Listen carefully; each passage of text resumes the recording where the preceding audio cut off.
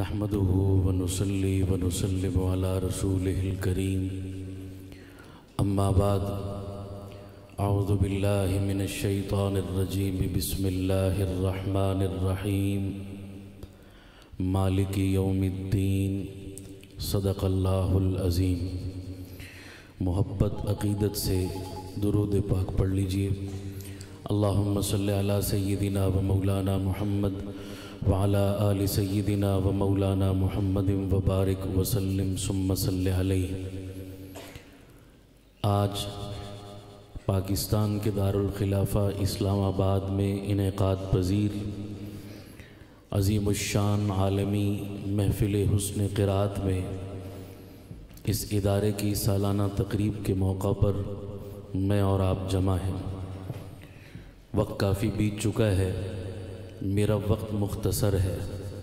सफ़र लंबा हो, वक्त मुख्तसर हो तो गाड़ी की रफ़्तार ज़रा तेज़ होती है। इसलिए मेरी रफ़्तार भी थोड़ी सी तेज़ होगी और तेज़ रफ़्तार गाड़ी के लिए ज़रूरी है आपकी तवज्जो। मैं मुलतमस हूँ। आपसे आज जाना दरख्वास्त करूँगा। जो भी मेहमान तशरीफ़ लाएँगे, यहाँ स्टेज पे आपके सामने ही आएँगे। ठीक है जी? इसलिए आप दाएँ बाएँ देखते हैं तो फिर तसलसल टूट जाता है और बात कहने वाले को दिक्कत होती है। मैं टेप रिकॉर्डर तो हूँ नहीं कि आपने बटन दबाया और मैं शुरू हो गया। बटन ऑफ़ हुआ और मैं बंद हो गया। मैंने आपके जज्बात और एहसास के साथ चलना है। आप मेरा साथ देंगे? ऊँची आवाज़ से बोलिए ना जी। बाज़ोक लोगों की महफ़िल है, बड़ी बाबरकत महफ़िल है। इन आप सुनेंगे तो आपको सुनने में, मुझे कहने में लुत्फ़ आएगा। अल्लाह जानबैन की इस मेहनत को कबूल फरमाकर हमारी बख्शिश और निजात का सबब और ज़रिया बनाए। आमीन कह दो सारे। मैं मानता हूँ आप असर के बाद से बैठे हैं, लेकिन मेरी थकावट आपसे ज़्यादा है। मैं बहुत लंबा सफ़र करके इस प्रोग्राम में हाज़िरी के लिए पहुँचा हूँ। तो मुझे आपसे ज़्यादा अपनी थकावट का एहसास है, लिहाजा मैं ज़्यादा देर मुसलत नहीं होना चाहता। घड़ी के 12 बजने में अभी काफ़ी देर रहती है, लेकिन कई चेहरों पर मैं बजे हुए देख रहा हूँ। ऐसे तो नहीं मज़ा आएगा भाई। थोड़ा बेदारी के साथ मोहब्बत से कह दें, एक दफ़ा सुबहान अल्लाह। और मोहब्बत से बोलिए सुबहान अल्लाह बस थोड़ा चार्ज रहोगे तो मैं बात कह पाऊँगा इन ठीक है जी? अब तफसील में नहीं जाता, बिल्कुल शॉर्टकट चलूँगा, पूरी तवज्जो आपकी मेरी गुफ्तु की जानब रहे। मैंने कुरान मजीद की सबसे पहली सूरत, सूरतुल फातिहा की एक आयत तिलावत की है। उसकी रोशनी में मैंने तीन बातें आपकी खिदमत में अर्ज़ करनी है। दो बातें बतौर तमहीद के और तीसरी बात बतौर मकसूद के। दी जो चाहता था कि मैं कुछ सुर फातिहा को खोलता आपके सामने, लेकिन वक्त का दामन तंग है, इसलिए मैं सिर्फ़ अपने मुद्दे पे फोकस रखूँगा, दाएँ बाएँ नहीं जाऊँगा। हम किताबों में पढ़ते हैं, उलमा से जानते और सुनते रहते हैं कि दुनिया में हमें बताया, सुनाया, समझाया जाता है। अदालतें दो तरह की होती हैं। एक अदालत को काजी की अदालत कहते हैं, दूसरी अदालत को मालिक की अदालत कहते हैं। बोलिए कितनी अदालतें? नंबर एक, काजी की। नंबर दो, मालिक की। इन दोनों अदालतों में तीन फ़र्क मैंने आपके सामने रखने हैं आज की मजलिस की मुनासबत से। पहला फ़र्क, कुरान मजीद में अल्लाह फरमा रहे हैं, मालिक यौमुद्दीन ए मेरे बंदो, मैं क़यामत के दिन का मालिक हूँ। काजी और मालिक की अदालत का पहला फ़र्क, कि काजी फैसला करने के लिए उसूल और जबते का पाबंद होता है, अपनी मर्ज़ी नहीं कर सकता, जबकि मालिक उसूल का पाबंद नहीं होता चाहे तो अपनी मर्ज़ी भी कर सकता है। मेरा मिजाज है, मैं बात को मिसालों से खोलता हूँ, बात समझ आ जाए। मिसाल देता हूँ, मिसाल के तौर पर, इस्लामाबाद में एक बंदे ने फैक्ट्री कायम की अपना कारोबार शुरू करने के लिए। कारोबार बड़ा अच्छा चल पड़ा। अचानक यकायक उसे कारोबार में लॉस और नुकसान होना शुरू हो गया। वो मालिक सर पकड़ के बैठ गया। फैक्ट्री के मैनेजर को बुलाया और बुलाकर पूछा, यार चेक करो, ये अचानक मेरा भट्टा बैठना कैसे शुरू हो गया? नुकसान कैसे शुरू हो गया? मुझे लगता है कि मेरे अंदर ही अंदर का कोई बंदा मुझे चूना लगा रहा है। फैक्ट्री का कोई मुलाजिम ही चोरी कर रहा है। ट्रेस करो चेक करो और मुझे बताओ। मैनेजर ने कहा, जी, बहुत अच्छा। मैनेजर ने चोर ट्रेस करना शुरू कर दिया। अचानक एक दिन मैनेजर ने एक फैक्ट्री के मुलाजिम को चोरी करते हुए रंगे हाथों गिरफ़्तार कर लिया। चोरी शुदा माल भी बरामद कर लिया। मौके के दो एविडेंस और गवाह भी आपने सामने पेश कर ली अपने पास मौजूद कर लिए। चोर को गिरफ़्तार किया गया। पुलिस पकड़ के थाने में लॉकअप में उसको बंद कर दिया पुलिस ने। अगले दिन उस चोर को लेकर काजी की अदालत में पुलिस पहुँची। जनाब, ये बंदा चोर है। ये मौके के दो गवाह हैं। ये चोरी शुदा माल है। तमाम एविडेंस मौजूद हैं। तो एविडेंस और उसूल का तकाजा अब ये बनता है कि जज उसूल के मुताबिक चोर को क्या दे दे? सजा दे दे। अगर जज ने, काजी ने सजा दे दी, हर बंदा बोलेगा, हमें इंसाफ मिल गया। चोर को सजा मिल गई। लेकिन तमाम एविडेंस और सबूत होने के बावजूद भी अगर जज और काजी मुलजिम को बरी और रिहा कर दे, हर बंदा एहतजाज करेगा, चीखेगा, चिल्लाएगा। जनाब, हमें इंसाफ नहीं मिला। जज बिक गया है। जज ने रिश्वत ले ली है। जज डर गया और दब गया है कि एविडेंस होने के बावजूद उसने बरी कैसे कर दिया। इस मिसाल से पता चला, जज उसूल का पाबंद है, काजी उसूल का पाबंद है। उसूल के बरखिलाफ अपनी मर्ज़ी नहीं कर सकता। लेकिन इसके मद्दे मुकाबिल अगर फैक्ट्री के मैनेजर ने उस चोर को पकड़ा एविडेंस और गवाह भी सारे इकट्ठे किए और चोर को लेकर काजी की अदालत में पेश करने के बजाय फैक्ट्री के मालिक के पास पकड़ कर ले गया। और मालिक को जाकर कहने लगा, जनाब, ये बंदा आपका चोर है। ये चोरी शुदा माल है। ये मौके के दो गवाह हैं। मालिक की अदालत में पेश कर दिया। फैक्ट्री का मालिक कहने लगा अच्छा तू चोर है। मैं तो तुझे बड़ा शरीफ बंदा समझता था। बड़ा नेक और अच्छा इंसान समझता था। तुझसे तो कभी ये मैंने तवक्को भी नहीं की थी कि तू चोरी करेगा। बड़ा अफसोस हुआ कि तूने चोरी की है। चल, इस दफ़ा तुझे माफ़ कर देता हूँ। इस दफ़ा तुझे तुझे छोड़ देता हूँ। आइंदा ऐसी हरकत न करना, आइंदा चोरी न करना, तमाम एविडेंस और सबूत होने के बावजूद अगर फैक्ट्री का मालिक चोर को बरी और माफ़ कर दे, बताइए किसी बंदे को एतराज़ हो सकता है?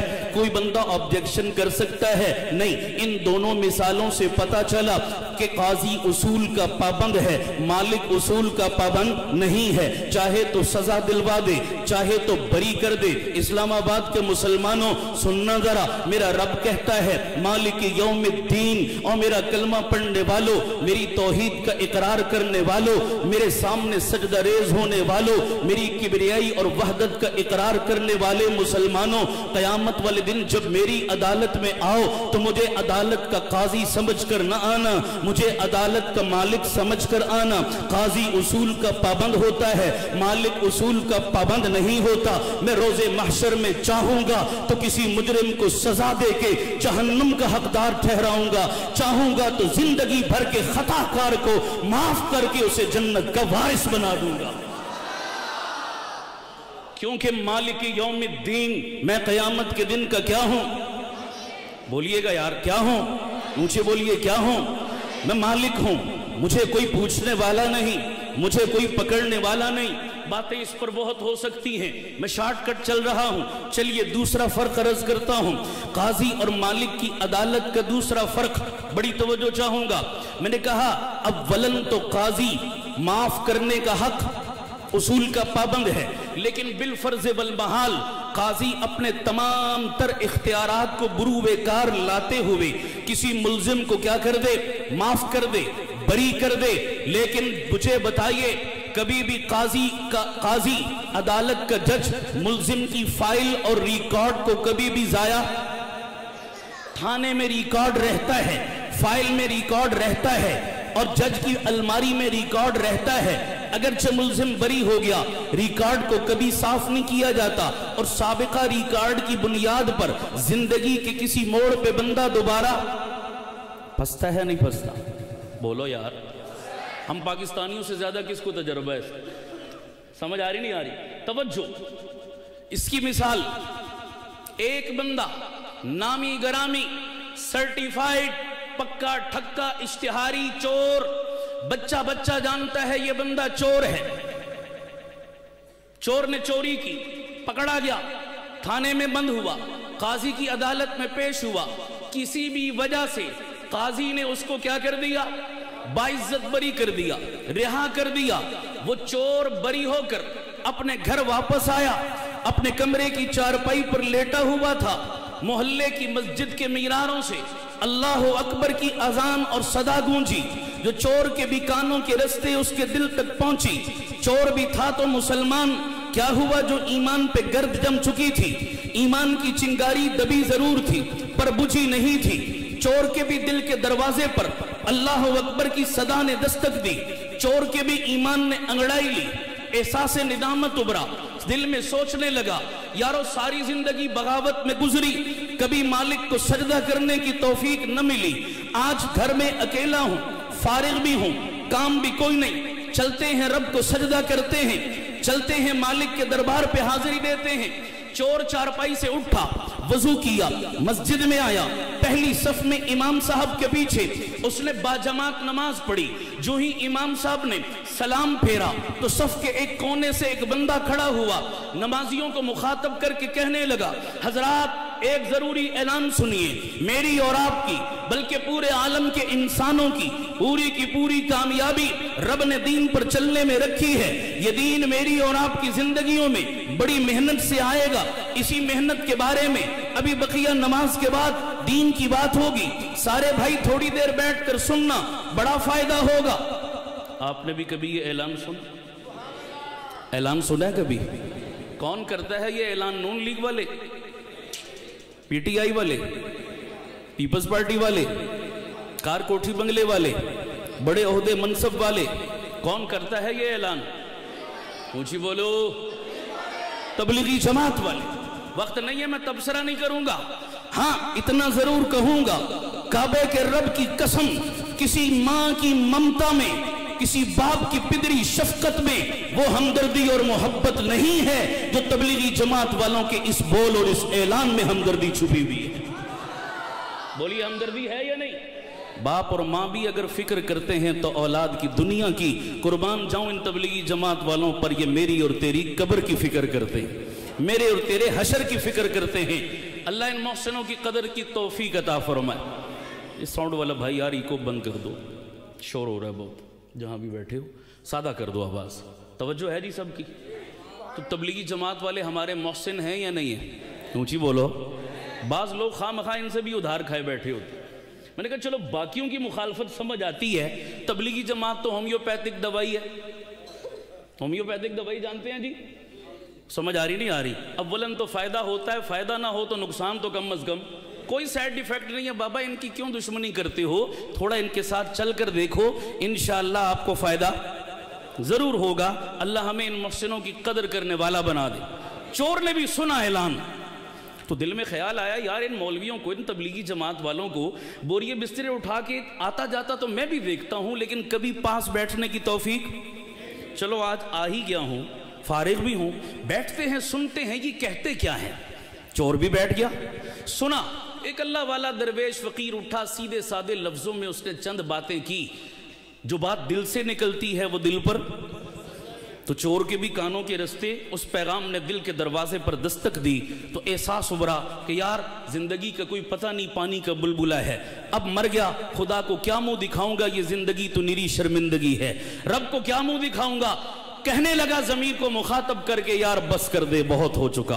अब ज़िंदगी के धारे को बदल, अब सोचों के जाविये को बदल, अब तरजीहात के तयन को बदल, ज़िंदगी का रुख बदल अपना, और तोबा तायब हो, रब को राज़ी कर ले, मना ले, मौत का कोई पता नहीं कब बुलावा आ जाए।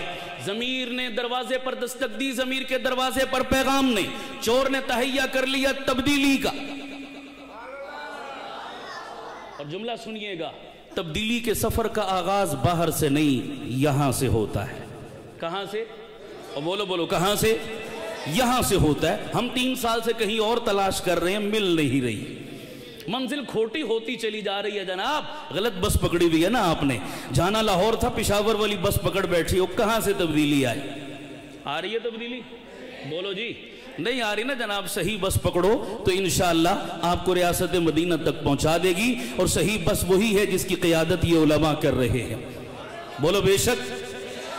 आप नाराज़ ना हो, इजाज़त दे तो एक छोटी सी बात आ ही गई है मुँह पर तो कह दूँ। नाराज़ तो नहीं होगे? होगे तो क्या कर लोगे? सच्ची बात है, करनी चाहिए ना। क्या ख्याल है? अच्छा भाई मैं थोड़ी गपशप का माहौल भी चला रहा हूँ ना दस बजने वाले हैं थोड़ी नींद भी आपकी उड़ती रहे। इसलिए बहुत रूखी सूखी बातें नहीं कर रहा। अच्छा सुनना ज़रा एक बात। आप आए यहाँ पर मैं अपनी मिसाल ही दे देता हूँ। चलो जी मुझे बयान के लिए उन्होंने बिठा दिया इन बुज़ुर्गों की मौजूदगी में। मुझे आ, मुझे आप सुन रहे हैं क्या तो लेकर सुन रहे हैं?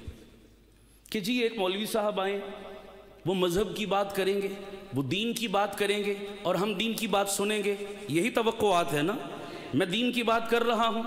आप सुन रहे हैं। अच्छा लग रहा है, बुरा लग रहा है? आप मुझे मज़हब का नुमाइंदा समझ कर आए। मैंने मज़हब की बात की, आपको अच्छा लगा। लेकिन इसके बरखिलाफ आप तो आए मेरे पास। मज़हब का नुमाइंदा समझकर मुझसे, मेरी ज़ुबान से मज़हब की बात सुनने के लिए। और मैं आपको यहाँ बैठकर उन्नीस सौ बानवे का वर्ल्ड कप सुनाना शुरू कर दूँ। अच्छा लगूँगा? बोलो सारे यार। अच्छा नहीं लगूँगा? आप कहेंगे, मौलाना आपकी ज़ुबान से तो बानवे का वर्ल्ड कप जेब। इस मेंबर रसूल पे बैठ के क्रिकेट की बात कर रहे हो। इस मेंबर रसूल पर बैठकर मीशत और इकानमी की बात कर रहे हो। और इस दुनिया की तस्करे कर रहे हो। नहीं, आपकी ज़ुबान से आप मज़हब के नुमाइंदे हैं। तो मज़हब के नुमाइंदे से मज़हब की बात जचती है। दाएँ बाएँ की बातें। उसूल यही है ना जनाब? तो फिर जुमला इसी उसूल पर सुनिएगा, संभालिएगा और तन्हाई में बैठकर सोचिएगा ज़रूर। कि मज़हब का नुमाइंदा क्रिकेट की बात करे तो अजीब लगता है।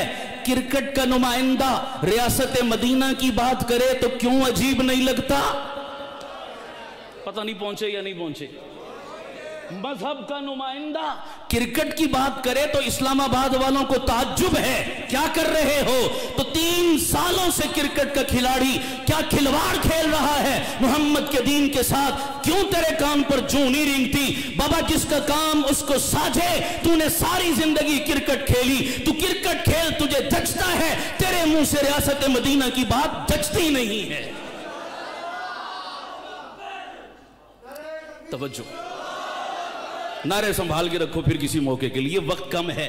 ये मेरा मौजू बड़ा दिलचस्प है। कभी मौका मिला तो फिर वैसे लगे हाथ थोड़ी बात आ गई तो मैंने टच दे दिया तब्दीली का। ठीक है जी, तब्दीली कहाँ से आती है? बोलो बोलो, कहाँ से आती है? चोर के भी दिल पर असर हुआ, मन की दुनिया बदली, मन की दुनिया न तू बदला, न मैं बदला, न दिल की आरज़ू बदली। मैं कैसे एतबार इनकलाब आसमां कर लूँ? जनाब, आसमानी इनकलाब यूँ नहीं आया करते। इन इकबाल ने भी इसी आयत का गालिबन तर्जुमा किया था। खुदा भी उस कौम की हालत को नहीं बदलता, न हो जिसको खुद ख्याल अपनी हालत के बदलने का।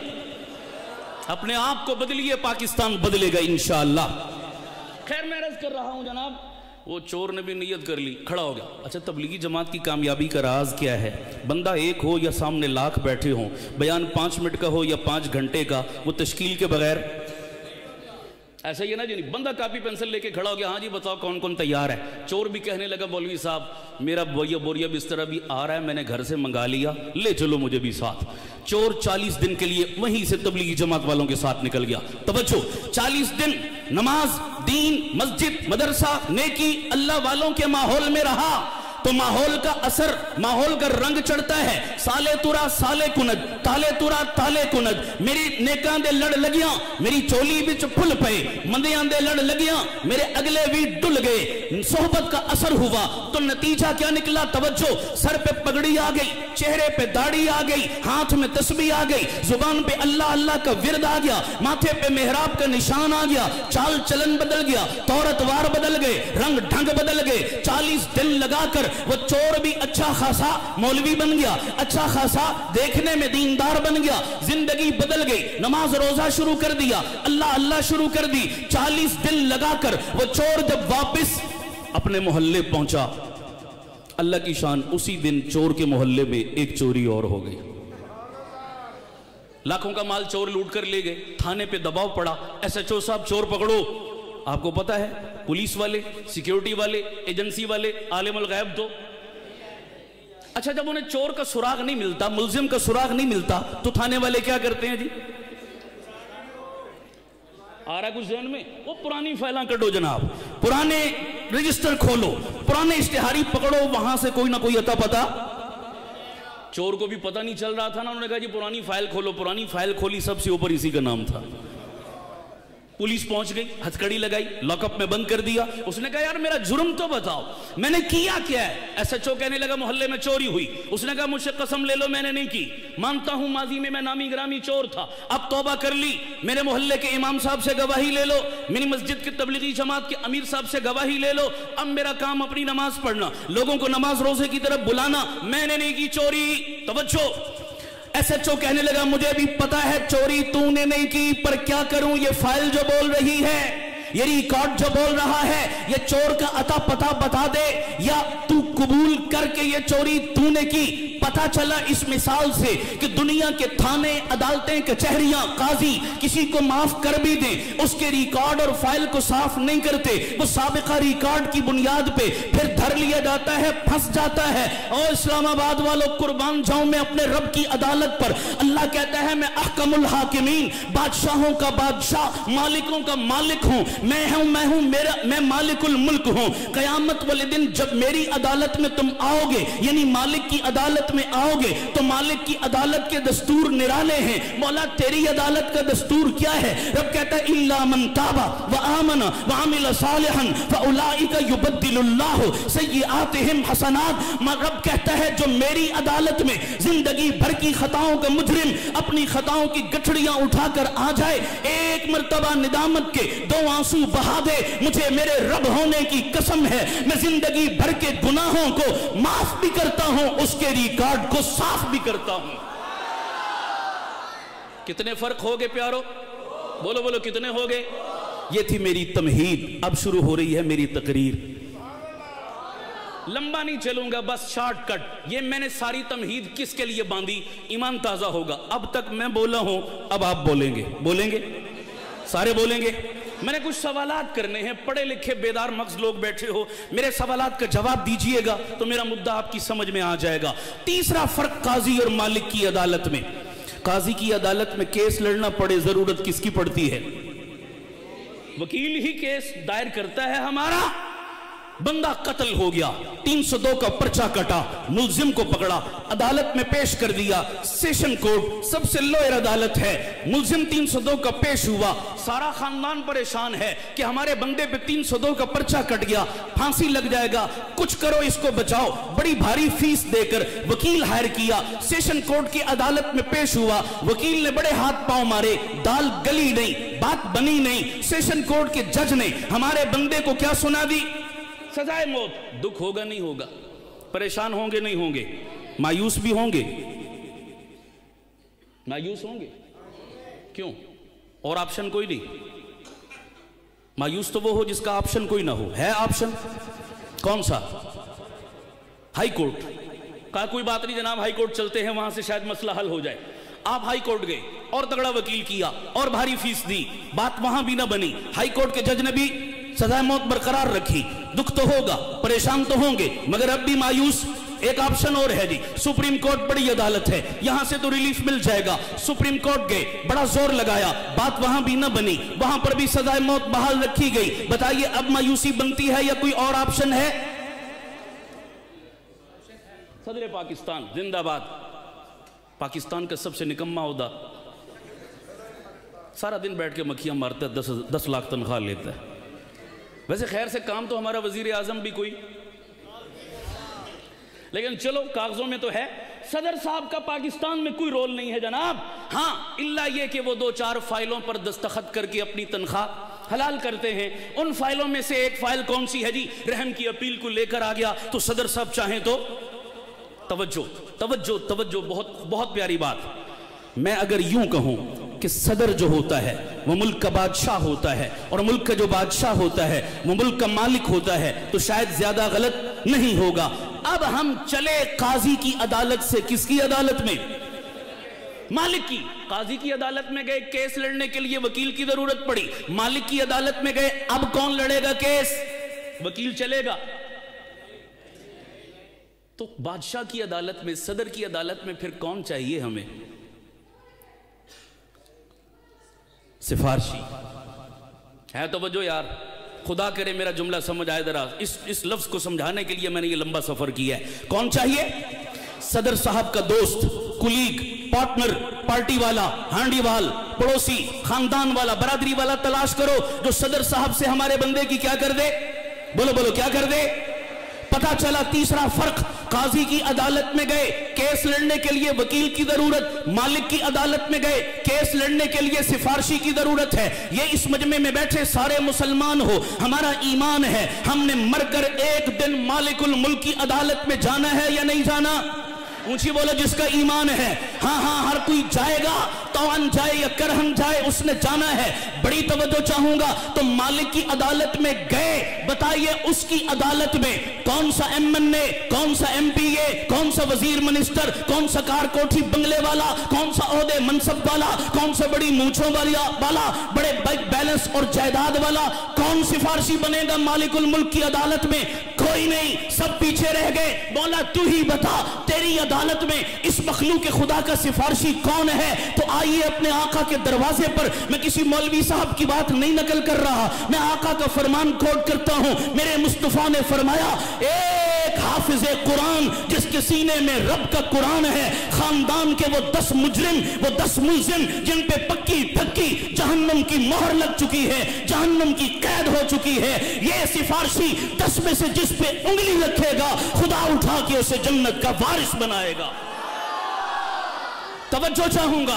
हाफिज कुरान ने अल्फाज याद किए।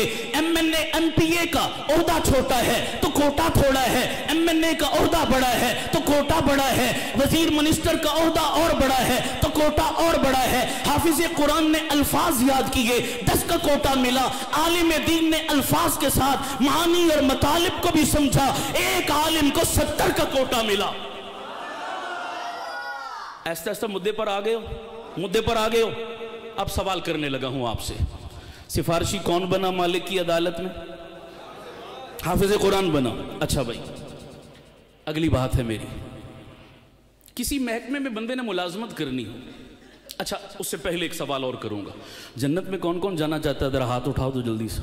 हो हो इतने तावले। तैयार बैठी हो जी। चलो जी, अल्लाह सबको ले जाए। आमीन कह दो। मेरी तो दुआ है अल्लाह अपने नबी के किसी उम्मती कलमा पढ़ने वाले को महरूम न फरमा। मेरे मौला बगैर हिसाब किताब के जन्नत का दाखिला नसीब फरमा। लेकिन तवज्जो, मैं जो बात कहना चाहता हूँ, किसी भी महकमे में बंदे ने जाना हो, मसलन एक बंदा कह दे कि मैंने आर्मी में जाना है, आर्मी की नौकरी करनी है, समझ आ गई? तो कोई भी महकमा आने वाले को नौकरी और जॉब देने के लिए दो चीज़ें माँगता है। पहले नंबर पे माँगता है मेरिट लाओ ऐसा ही है जी मेरिट है तो नौकरी देते हैं। अगर मेरिट नहीं है तो दूसरा ऑप्शन पाकिस्तान में तो दूसरा ही चलता है जनाब। सिफारिश, दो ही ऑप्शन मेरा सवाल है, खुदा गवाह है, बहुत तवज्जो चाहूँगा। मैंने सवाल किया अभी आपसे, जन्नत में किस किस ने जाना है? मेरे समेत सब तैयार हैं कि जाना है। दिल से जवाब देना मेरे दूसरे सवाल का, बताओ जन्नत में जाने के लिए मेरिट किस किस के पास है? बाखुदा दावा कोई नहीं कर सकता। उम्मीद रखते हैं, माफ़ी मांगते हैं, तमन्ना और दुआ करते हैं, मौला, ले जा जन्नत में। वरना हमारी नमाजों का क्या हाल है, ये हमें पता है। क्या इतनी जान है हमारी नमाजों में बख्शवा लें? वो रब करम से बख्श दे तो मेहरबानी है, उसकी मेरिट नहीं। दावा नहीं किसी को। बीज है, उम्मीद है, दावा नहीं। मैंने सवाल किया इसी तरह मजमे में, जन्नत में कौन कौन जाना चाहता है? दोनों हाथ सबने खड़े किए। मैंने सवाल किया मेरिट किसके पास है? किसी का हाथ नहीं ऊपर उठा। मेरिट नहीं तो बोल, जन्नत में जाने के लिए पूरा इस्लामाबाद किसका ने मिन्नत हुआ?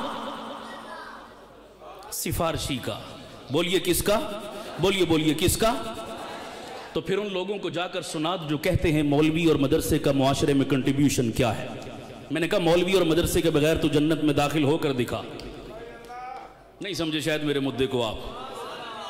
पहुँचे हो, नहीं पहुँचे? ओ यार, या तो कह दे मेरिट है, मैं जाऊँगा। जब मेरिट नहीं तो दूसरा ऑप्शन सिफारिश सिफारिश का बचा।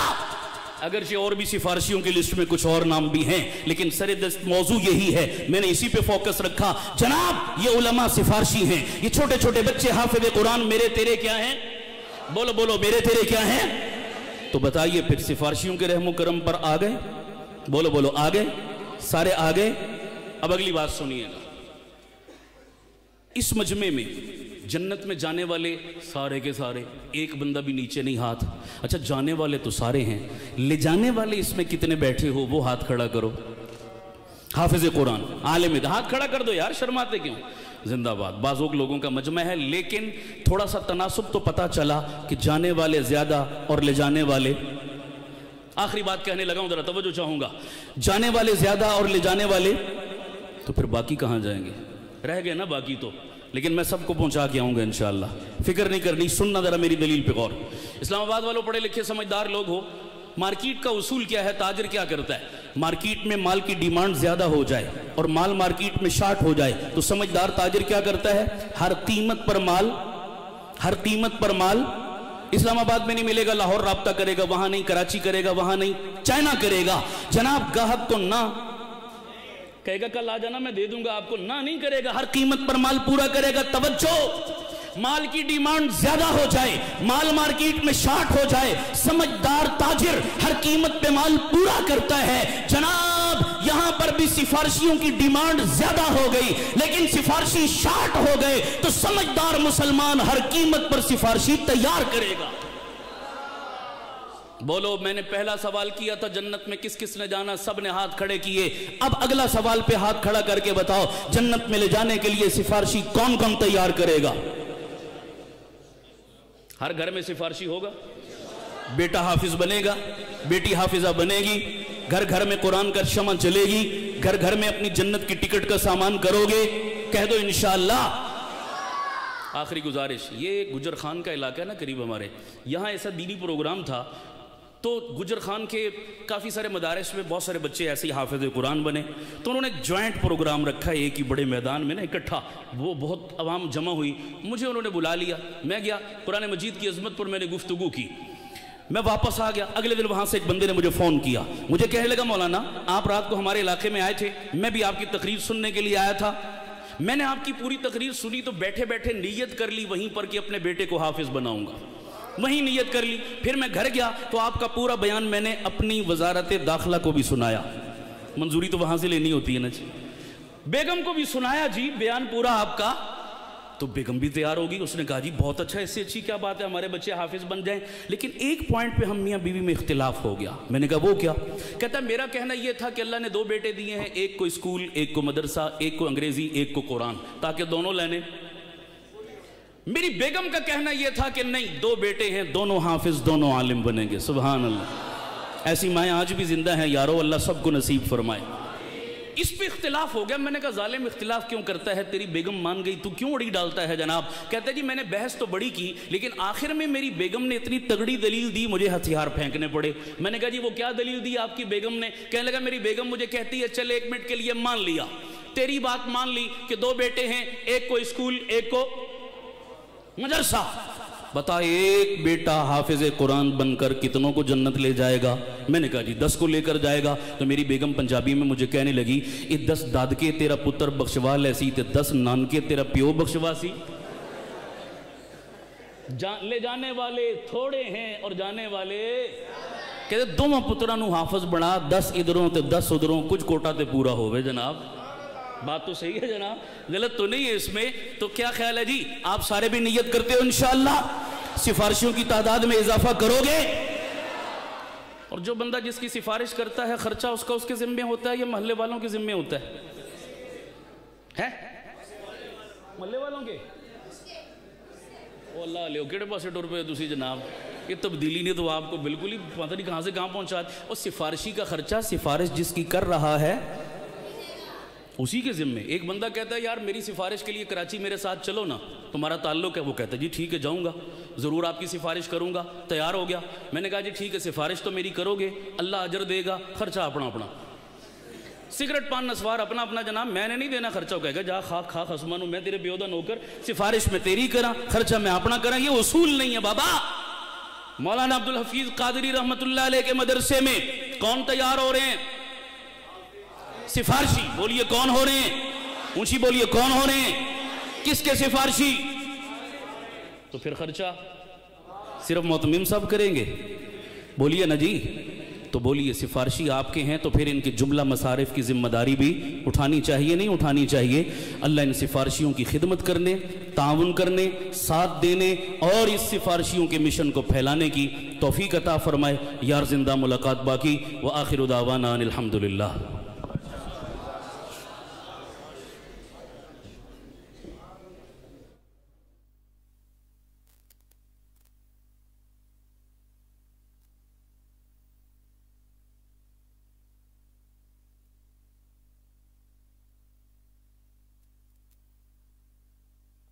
हजरात तशरीफ़ रखें। माशा बहुत कम वक्त में इंतहाई जाम गुफ्तु और मिसालों के साथ दीन का मसला, अकीदा कुरान करीम की और हाफज कुरान की फजीलत, मदारस की खिदमत, बहुत सारे मौजूद को समेटते हुए उन्होंने हमारे सामने इल्मी मोती निशावर किए।